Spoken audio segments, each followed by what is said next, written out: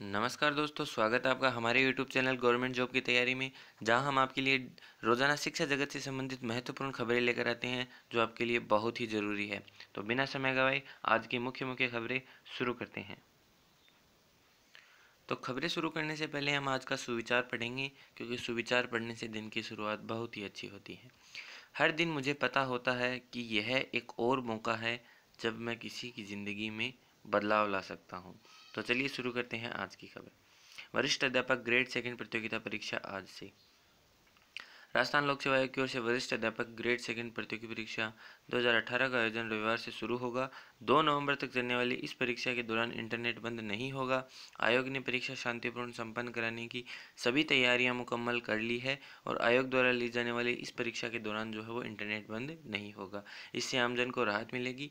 पिछले दिनों ही राज्य सरकार ने इस संबंध में स्पष्ट कर दिया है कि आयोग की परीक्षा के दौरान इंटरनेट सेवाएँ बंद नहीं होगी। इस आदेश के बाद यह पहली परीक्षा आयोग द्वारा ली जा रही है और आयोग सचिव पी सी बेरवाल ने बताया कि अभ्यर्थी अपने परीक्षा केंद्र पर एक फ़ोटो और मूल फ़ोटो पहचान पत्र अवश्य लेकर जाएँ।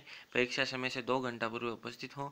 मूल पहचान पत्र के अलावा जो अभाव में अभ्यर्थी के, को केंद्र पर प्रवेश नहीं दिया जाएगा। अभ्यर्थी परीक्षा के लिए जारी आवश्यक अनुदेशों का अवलोकन कर लें।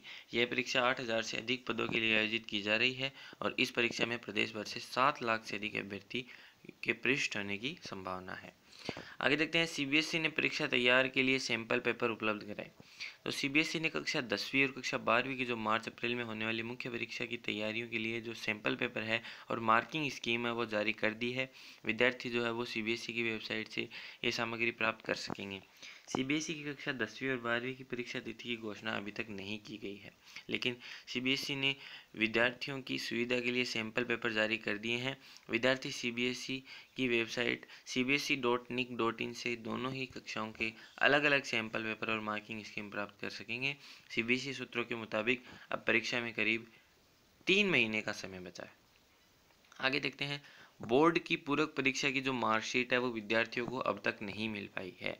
राजस्थान माध्यमिक शिक्षा बोर्ड की पूरक परीक्षा 2018 के विद्यार्थियों को एक महीने बाद भी जो मार्कशीट है वो नहीं मिली है। अब बोर्ड प्रशासन इन मार्कशीट को एक नवंबर को नोडल केंद्रों पर भेजेगा।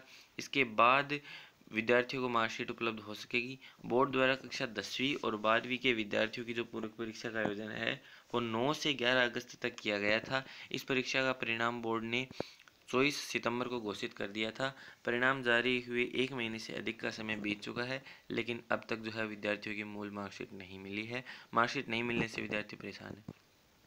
मार्कशीट नहीं मिलने का कारण जो है वो रोडवेज़ हड़ताल भी बताया जा रहा है कि बोर्ड के आधिकारिक सूत्रों का कहना है कि बोर्ड की मार्कशीट राज्य के बाहर से प्रिंट होकर आती है। परिणाम के दौरान ही रोडवेज़ की हड़ताल भी जारी थी। बीस से अधिक दिन तक हड़ताल चली। ऐसे में बोर्ड की मार्कशीट भी डिले हो गई। अब बोर्ड की मार्कशीट मिल चुकी है। नोडल केंद्रों पर तक मार्कशीट पहुँचाने के लिए बोर्ड कर्मियों की टोलियाँ बनाई जा रही है। ये टोलियाँ ही अलग अलग जिलों के में नोडल केंद्रों तक मार्कशीट पहुंचाएगी। एक नवंबर को टोलियों को रवाना किया जाएगा।